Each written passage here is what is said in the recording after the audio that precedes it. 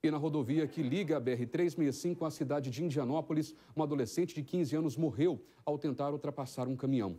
O adolescente estava pilotando uma motocicleta e, ao fazer a ultrapassagem, bateu de frente com outro caminhão. Ele morreu na hora. Os pais do adolescente precisaram ser internados quando receberam a notícia da morte do filho.